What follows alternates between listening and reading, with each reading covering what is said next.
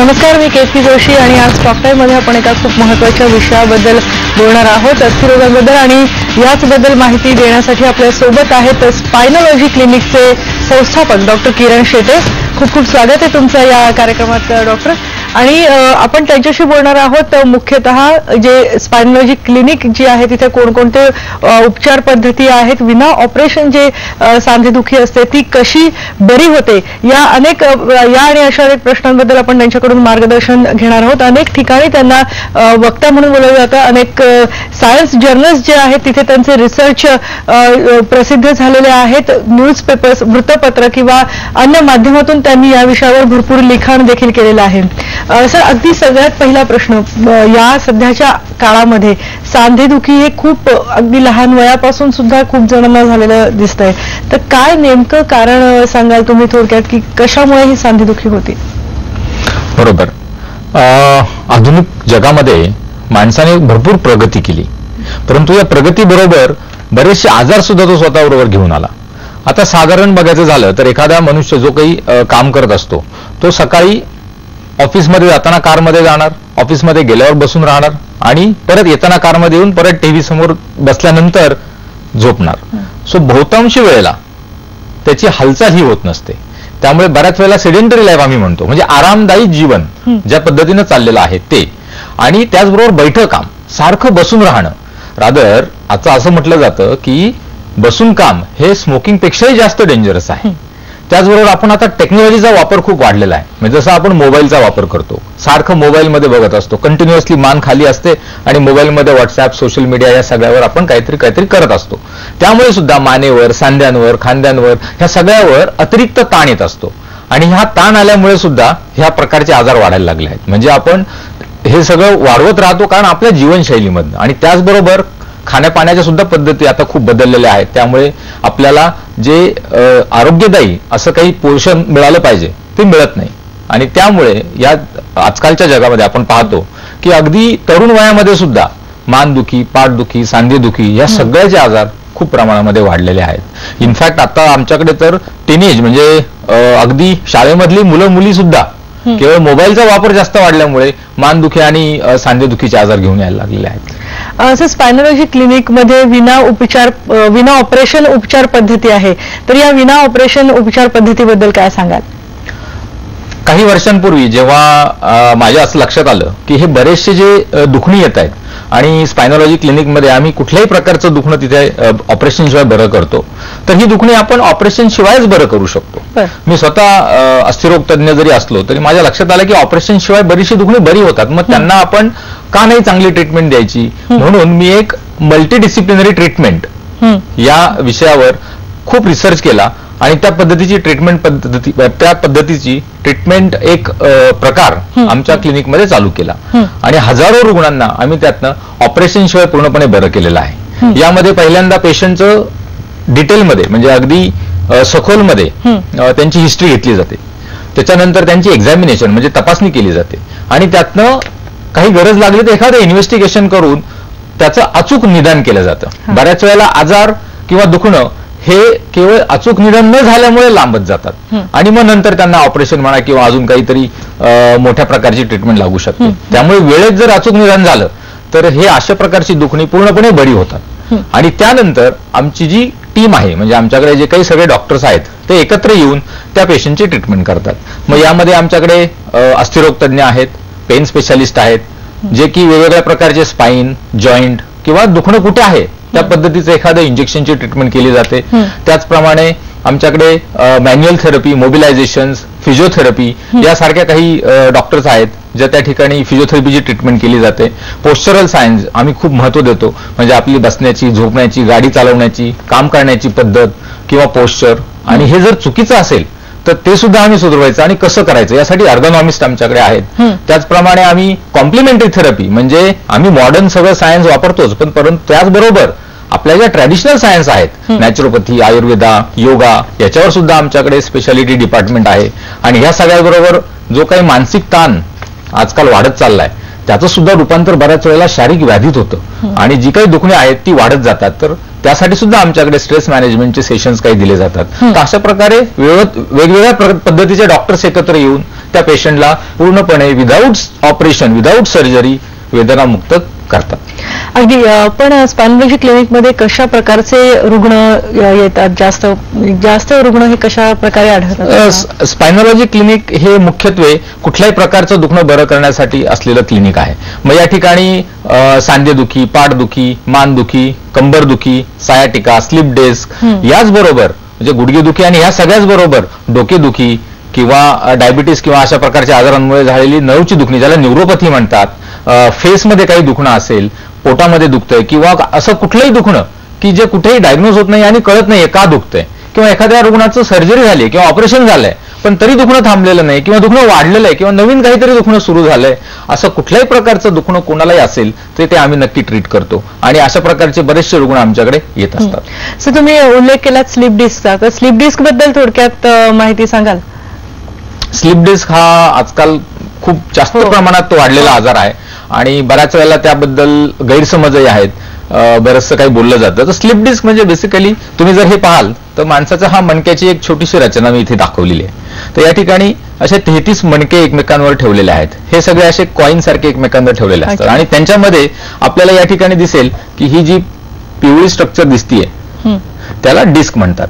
असे ह्या दोन मणक्यांमध्ये ह्या दोन मणक्यांमध्ये हे डिस्क असते ती स्पॉन्ज सारखी काम करते ज्या वेळेला त्याला इंजुरी होते किंवा इजा होते किंवा सारखं बसून राहिल्यामुळे जर काही त्रास झाला तर ही जी चकती आहे ही आपल्या जागेवरनं थोडीशी बाहेर येते किंवा बाजूला सरकते. आणि ज्या वेळेला ती बाजूला सरकते त्यावेळेला त्याला स्लिप डिस्क असं म्हणतात आणि. त्यावेळेला बॉडीची रिस्पॉन्स असं येतं की दुखणं चालू होतं. ज्या वेदना चालू होतात. आणि बऱ्याच वेळेला जर हे दुखणं सहन नाही झालं तर आराम करून किंवा काही दिवसांना गोळ्या घेऊन तो बरंही वाटतं परंतु जर आपण चुकीच्या पद्धती तशाच चालू ठेवल्या आणि त्याच्यावर योग्य उपचार घेतले गेले नाहीत. व्यायाम चांगले केले गेले नाहीत. तर हेच चकती अजून थोडीशी मागे येऊन मी या ठिकाणी तुम्हाला दाखवू इच्छितो की ती चकती मागे जास्त गेली तर या ठिकाणी जी एक नस आहे. की आपल्याला शरीराला ज्या संवेदना पायामध्ये जातात किंवा हातामध्ये या सगळ्या मेंदूतनं चालू होतात. स्पायनल कॉर्डमधनं मग हातामधनं किंवा पायामध्ये कमरेमधनं जातात. तर त्या नसेवर प्रेशर आल्यामुळे पायामध्ये दुखणं चालू होतं. कारण ही नस पायामध्ये जाते. आणि मग त्यालाच आपण सायाटिका असं म्हणतो. जे सायाटिकाचं दुखणं आपण बऱ्याच वेळेला हो. ऐकतो की खूप जास्त प्रमाणात सुरू हो, आणि हो. दुखणं वाढलंय तर त्यामुळे त्याला सायाटिका असं. म्हणतात तर अशा प्रकारे स्लिप डिस्क आणि सायाटिकाचा आजार उद्भवतो हे स्लिप डिस्क किंवा सायटिका जे आहे अगदी खरं तर खूप रुग्ण घाबरतात अशा यांना आणि मग ऑपरेशन करावं लागेल की काय अशी भीती जवळपास प्रत्येक रुग्णाला वाटत असते तर ऑपरेशन शिवाय सुद्धा वेदनामुक्ती स्लिप डिस्क आणि सायटिकाच्या रुग्णांना कशी मिळवता येईल नक्कीच. रादर जे काही प्रमुख प्रमाणे सायाटिका आणि स्लिप डिस्कच्या रुग्णांना बहुतांश ऑपरेशनची गरज तशी लागतच नाही. बर. विदाऊट ऑपरेशनच हे रुग्ण बऱ्यापैकी बरे होऊ शकतात. तर यामध्ये जेव्हा असे रुग्ण आमच्याकडे येतात तेव्हा आम्ही त्यांचं व्यवस्थित निदान केलं जातं. आणि गरज लागली तर एक्सरे किंवा एम आर आय स्कॅन ज्याच्यामध्ये आपल्याला ती जी चकती आहे ही किती बाहेर आली आहे आणि किती प्रमाणामध्ये नसेवर दबाव आहे कुठल्या नसांवर दबाव आहे हे अगदी तंतोतंत तिथे पाहता येतं. ते पाहिल्यानंतर आम्ही स्पाईनला गरजेनुसार काही स्पायनल इंजेक्शनची ट्रीटमेंट करतो. आणि स्पायनल इंजेक्शन्समध्ये बेसिकली ही इंजेक्शन अगदी सेफ असतात सोप्या पद्धतीनं केली जातात जागच्या जागी भूल देऊन केली जातात ज्याच्यामुळे रुग्णाला अजिबात वेदना होत नाहीत. आणि इंजेक्शन झाल्यानंतर रुग्ण काही तासातच परत घरी जाऊ शकतो. कारण हा रुग्ण पूर्णपणे अवेक असतो पूर्णपणे जागा असतो. आणि त्याला त्याच्याशी आम्ही गप्पा मारत मारत ते इंजेक्शन करत असतो. आणि ह्या इंजेक्शनचा आमचा उपयोग हाच असतो की याला कायमस्वरूपी हा आजार पूर्ण बरा व्हावा आणि तो नक्की होतो. यासाठी आम्ही आमच्या स्वतःच्या सुद्धा काही इंजेक्शनच्या टेक्निक्स डेव्हलप केलेल्या आहेत. त्याचा शोधनिबंध आमचा आता सध्या पब्लिकेशनमध्ये सुद्धा आहे. आणि ह्या टेक्निकचा उपयोग असा होतो की ती चकती कायमची बरी होऊन जाते. ते इंजेक्शन झाल्यानंतर काही दिवस आम्ही रुग्णांना आराम करायला सांगतो आणि त्यात नंतर आमच्याकडे क्लिनिकमध्ये. आम्ही मल्टी डिसिप्लिनरी ट्रीटमेंट ज्याबद्दल की मी मागाशी. बोललो ती ट्रीटमेंट आम्ही चालू करतो आणि आमचा असा अनुभवात आलेला आहे आमच्या ज्या शोधनिबंधात आम्ही पाहिलेलं आहे की नव्याण्णव टक्के रुग्णांना आमच्या कुणालाही पुढे जाऊन आणि कधीही काही सर्जरीची गरज लागली नाही आणि ते पूर्णपणे विदाऊट सर्जरी या आजारातून पूर्णपणे बरे झालेले आहेत. इनफॅक्ट असे कितीतरी रुग्ण आहेत की ज्यांना पायामधली ताकद कमी झालेली आहे संवेदना कमी झालेल्या आहेत परंतु ते सुद्धा पूर्णपणे त्यांना परत मिळालेले आहेत. सर अशाच म्हणजे रुग्ण जे या अत्यंत वेदनादायी या आजारातनं बरे झालेल्या रुग्णाच्या एखाद्या रुग्णाची प्रतिक्रिया आम्हाला ऐकायला आवडेल किंवा अनुभव त्यांना काय आलाय नक्कीच नक्कीच. एक. छोटीशी आपण पाहिजे तर आमचे एक जुने रुग्ण होते डॉक्टर डॉक्टरच होते ते स्वतः. तर त्यांच्या पायामध्ये ताकद सुद्धा कमी झालेली होती आणि ते पूर्णपणे बरे झाले. त्यांची एक व्हिडिओ बाईट नक्कीच आपण पाहू इथे. मी ज्यावेळेस तिथे आलो त्यावेळेस उजव्या पायाला मात्र वीस टक्के देखील ताकद नव्हती. पण ती इथे आल्यानंतर उजव्या पायाची देखील पूर्णपणे शंभर टक्के ताकद झालेली आहे. असं असे हजारो रुग्ण आहेत की ज्यांच्या पायातली ताकद पण परत येणे दुखणं तर जातच. दुखणं जाणं हे आणि सगळ्यात जास्त महत्वाचं मी तुम्हाला सांगतो की दुखणं जाणं आणि ते परत कधी न येणं. हेही जास्त महत्वाचं आहे. अगदी अगदी. त्याचबरोबर आता पूर्वीचं जे ते काम करत होते म्हणजे आता आमच्याकडे असे रुग्ण आहेत की ज्यांना झुंबा डान्स करायचा. आहे किंवा झुंबा डान्सचे टीचर आहेत क्लासेस आहेत. काही जणांना लेह लड्डाखला किंवा मोठ्याच्या बाईकच्या ट्रिपवर जायचं बुलेटच्या जे की त्यांना असं सांगण्यात आलं की तुम्ही हे ऑपरेशन करायला लागेल आणि नंतर कदाचित तुम्ही पाहिजे त्या गोष्टी नाही करू शकणार. असे रुग्ण सुद्धा अगदी लॉंग लॉंगच्या ट्रिपला पण जाऊन आलेत आणि जातात. मॅरेथॉनचे रनिंग करतात फुटबॉल खेळतात. नॅचरली किंवा शरीरालाच जर आपण व्यवस्थित सपोर्ट केला आणि व्यवस्थित हील होण्याचा चान्स दिला तर हे आजार विदाऊट एनी सर्जरी पूर्णपणे बरे होतात आणि रुग्ण पूर्ववत आयुष्य परत जगू शकतो. त्याला कधीही सर्जरीची तशी गरज लागत नाही. अगदी आम्हाला आणखी तुमच्याकडे याच विषयावर जाणून घ्यायचं आहे पण एक एक छोट्याशा ब्रेकची वेळ झाली आहे तुम्ही पहा फक्त न्यूज एटीन लोकमत.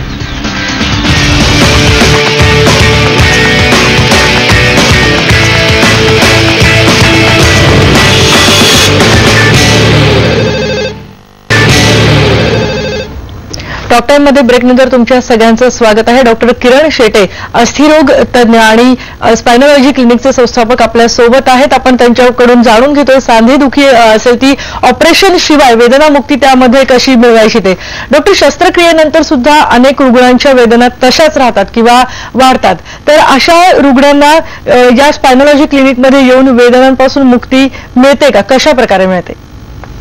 अगदी योग्य प्रश्न विचारलात. कारण असे बरेचसे रुग्ण माझ्याकडे आणि आमच्याकडे येत असतात की ज्यांची पूर्वी सर्जरी झालेली असते किंवा ऑपरेशन झालेलं असतं आणि तरी सुद्धा त्यांचं दुखणं पूर्ण गेलेलं नसतं किंवा वाढलेलंही असतं काही वेळेला.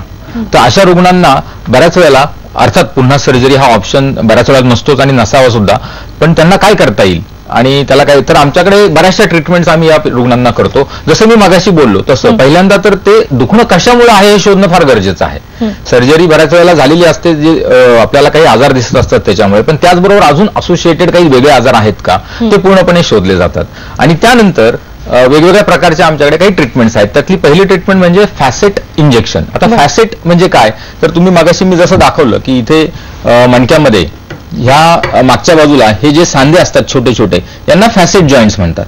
आणि बऱ्याच वेळेला सर्जरी करताना त्या ठिकाणी छेद घ्यायला लागतो. ते कट करायला लागतात. किंवा त्याच्या आजूबाजूला ज्या टिश्यू असतात ज्या ठिकाणी जे मसल्स आणि ते लिगामेंट्स त्यांच्यावर कट जातो. आणि त्याच्यामुळे त्या ठिकाणी हे दुखणं बऱ्याच वेळेला ऑपरेशन नंतर सुद्धा राहतं किंवा वाढलेलं असतं तर त्या ठिकाणी आम्ही काही ब्लॉक्स करतो ज्याला आम्ही फॅसेट ब्लॉक्स म्हणतो.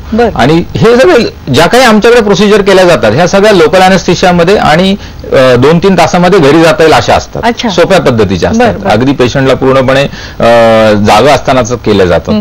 तर त्या ठिकाणी ते इंजेक्शन दिलं जातं. दुसरं एक केलं जातं ते म्हणजे इपिड्युरल ऍडिझिओलायसिस ज्यावेळेला ऑपरेशन केलं जातं त्यावेळेला जेव्हा मणक्याला चक्कीच्या जवळ आपण जातो किंवा मणक्याच्या रचनेमध्ये काही बदल करायचा असतो त्यावेळेला बऱ्याच वेळा तिथल्या ज्या टिश्यू आणि तिथली जी आवरण आहे ते एकमेकांना चिटकले जातात. आणि ज्यावेळेला ती चिटकली जातात त्यावेळेला ते जे दुखणं असतं हे बऱ्याच वेळा त्याच्या आहेत हालचालीमुळे होऊ शकतं कारण मनुष्य पूर्णपणे जागेवर बसू तर शकत नाही हलणारच आहे. त्या हालचालीमुळे त्या ठिकाणी वेदना खूप होत असतात. आणि. त्या ठिकाणी इव्हन रिपीट सर्जरी किंवा परत एकदा सर्जरी करणं हे धोकादायक असतं. कारण त्यावेळेला समजा ते आवरण फाटलं गेलं तर आतल्या स्पायनल कॉर्डला जो की खूप नाजूक आहे हो. त्याला इजा होऊ शकते. आणि त्याच्यामुळे त्या ठिकाणी सर्जरी हा ऑप्शन नसतो. तर अशा ठिकाणी आम्ही इपिड्युरल ऍडिजिओलायसिस नावाची प्रोसिजर करतो. त्या ठिकाणी काही केमिकल किंवा काही औषधी टाकली जाते आणि त्याच्यामुळे ते ऍडेजन्स त्या ठिकाणचे कमी होतात. याही नंतर आम्ही काही रुग्णांना radio frequency ablation of medial branch block आता हे मराठीत सांगणं थोडं अवघड आहे परंतु या ठिकाणी जे काही टिश्यू आहेत मणक्याला ज्या नर्व्ज आहेत की ज्या मणक्याला स्वतःला सुद्धा काही संवेदना पुरवतात. त्यांना रेडिओ फ्रिक्वेन्सी नावाचा एक डिव्हाइस असतं. त्यानं त्या नर्व्स फ्रीज केल्या जातात काही काळासाठी. आणि त्यामुळे पेशंटला दुखणं जाणवत नाही. बरं. त्याचबरोबर ऑफकोर्स हे सगळं करत असताना आम्हाला त्यानंतर त्यांना थेरपीज करायलाच लागतात. ज्याला आम्ही मल्टी डिसिप्लिनरी थेरपी म्हणतो. ज्या करायलाच लागतात. परंतु या प्रोसिजर्समुळे त्यांचं दुखणं जवळपास नाहीसं होऊन जातं. आणि आणि सगळं करूनही समजा पेशंटला बरं वाटत नसेल आणि दुखणं तसंच असेल तर शेवटी एक स्पायनल कॉर्ड स्टिम्युलेटर नावाची एक ट्रीटमेंट आम्ही करतो. ज्या ठिकाणी एक छोटंसं डिव्हाइस असतं जे की मणक्याच्या आजूबाजूला काही पद्धतीनं लावलं जातं. आणि हे पण अगदी ऑपरेशन न करता त्याला अंडर. लोकांशी केलं जातं. कारण विचारायचं होतं की अनेकदा हाडांच्या ठिसूळतेमुळे मणक्यांचा अस्थिभंग होतो. तर अशा वेळेला ऑपरेशन शिवाय काय उपचार केले जातात? ऑस्टिओपोरोसिस किंवा हाडांची ठिसूळता हा एक फार प्रमाणात वाढलेला आजार आहे. आणि याच्यामध्ये सुद्धा बऱ्याच वेळेला बऱ्याच रुग्णांना छोट्याशा सुद्धा दबावामुळे किंवा आजारामुळे अस्थिभंग होतो. फ्रॅक्चर मणक्याचे फ्रॅक्चर्स होतात. आणि त्याच्यामुळे दुखणं तर अति असतंच असतं पण त्याप्रमाणे त्यांची हालचाल त्यांचं चालणं फिरणं ह्या सगळ्या गोष्टी पूर्णपणे थंडावून जातात आणि बसून राहायला लागतं. आणि एस्पेशली हे जे अस्थिभंग आहेत हे वया ज्यांचं वय जास्त झालेलं आहे अशा रुग्णांमध्ये जास्त आढळतात. अशा रुग्णांमध्ये ऑपरेशन हा ऑप्शन नसतोच बऱ्याच वेळेला आणि बऱ्याच वेळेला ते कॉम्प्लिकेटेड होऊ शकतं. तर त्या अशा रुग्णांमध्ये आम्ही सिमेंट सिमेंटिंग नावाची एक प्रोसिजर करतो. ज्याच्या अंडर लोकल अॅनेस्थेशिया ही सुद्धा. ज्याच्यामध्ये एका इंजेक्शनद्वारे जिथे अस्थिभंग झालेला आहे त्या ठिकाणी एका नळीमधनं म्हणजे इंजेक्शनच्या सुईमधनं आम्ही सिमेंट टाकतो. आणि त्याच्यामुळे तिथे जे हाड फ्रॅक्चर झालेला आहे किंवा अस्थिभंग झालेला आहे त्या ठिकाणी ते कडक व्हायला. लागतं. समजा जास्त प्रकारचं फ्रॅक्चर झालेलं असेल तर त्या ठिकाणी आम्ही एक छोटा बलून टाकतो. त्या सुईमधनच आणि तो बलून त्या ठिकाणी नंतर हवा भरून एक्सपांड करतो. आणि त्याच्यामुळे त्याची जी दबली गेलेली आहे किंवा अस्थि मणका जो दबला गेलेला असतो पिचला गेलेला असतो त्याची थोडीशी हाईट रिस्टोर व्हायला पण मदत होते आणि त्या. ठिकाणी सिमेंट चांगल्या पद्धतीने जाऊन बसू शकतं रुग्ण लगेचच प्रोसिजर झाल्या झाल्या दोन तासामध्ये पूर्णपणे वेदनामुक्त असतो. आणि त्याला लगेच चालता येऊ. शकतं चालत चालत घरी जातात अशा वेळेला. आणि खूपच अशी रिवॉर्डिंग आम्ही म्हणतो ह्या प्रोसिजरला कारण लोकल अनेस्थेशिया आणि पूर्णपणे वेदनामुक्ती या दोन्ही. गोष्टी याच्यामध्ये अचीव होतात. आता त्याचबरोबर ऑस्टिओपोरोसिसची ट्रीटमेंट करणंही तितकंच आवश्यक आहे. नुसतं प्रोसिजर केली तरी बाकीचे मणके सुद्धा उद्या नंतर काही छोट्याशा दब- दबावानं हो. धक्क्यानं परत अस्थिभंग होऊ शकतात. अगदी. आणखी जाणून घ्यायचं या स्पायनॉलॉजी क्लिनिकबद्दल आणि तुमच्याकडून आणखी काही शंका आम्हाला त्याचं निरसन करून घ्यायचंय. पण पुन्हा वेळ झाला एका छोट्याशा ब्रेकशी पहा फक्त टॉक टाईम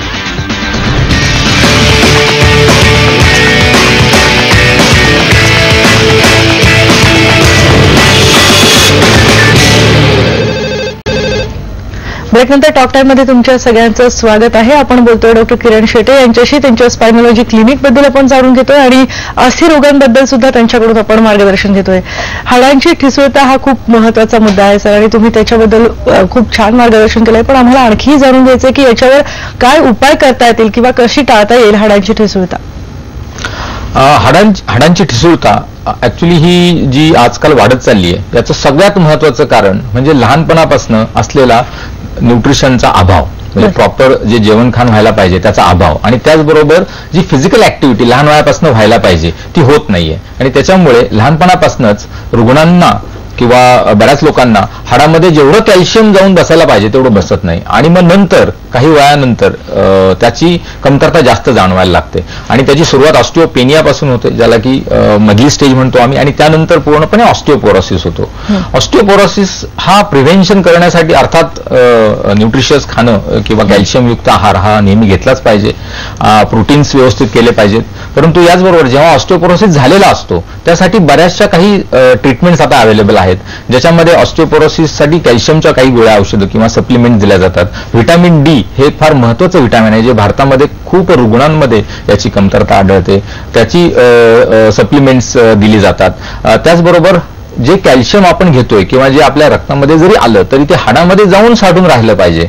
त्यासाठी काही औषधं ज्याला बायोफॉस्फोनेट्स म्हणतात ती दिली जातात. आणि आता नवीन काही इंजेक्शन्स आलेली आहेत ज्याच्यामध्ये टेरिपॅराटाईडचं इंजेक्शन आहे डेनेसुमॅब नावाचं एक इंजेक्शन आहे. ही सगळी इंजेक्शन्स आता अप्रूव्ह होऊन अप्रूव्ह झालेली आहेत वापरण्यासाठी. आणि त्याच्यामुळे हाडांची ठिसूळता नक्कीच कमी होते आणि अस्थिभंग होण्याचं प्रमाण खूप प्रमाणात कमी झालंय. बऱ्याच वेळेला हाडांच्या ठिसूळतेमुळे सुद्धा पाठदुखी सांधेदुखी ही चाल वाढत असते. आणि जर ती हाडांची ठिसूळता व्यवस्थित आणि चांगल्या पद्धतीने जर आपण ट्रीट केली तर ह्या रुग्णांचे दुखणं नक्कीच खूप जास्त प्रमाणामध्ये कमी होऊन जातं. तर अशा बऱ्याचशा ट्रीटमेंट ऑस्टोपोरोसिससाठी सुद्धा दिलेल्या आहेत. आणि त्याचबरोबर बोललो की समजा अस्थिभंग झालाच ऑस्टिओपोरोसिसमुळे तर त्याला सिमेंटिंग किंवा व्हर्टिब्रोप्लास्टी अर्थात दुसरं नाव याला आहे एक ज्याच्यामध्ये बलून टाकला जातो त्याला कायफोप्लास्टी या प्रकारच्या ट्रीटमेंट करून त्याची ज्या अस्थिभंग झालेला आहे त्याला आपण वेदनामुक्ती नक्कीच देऊ शकतो.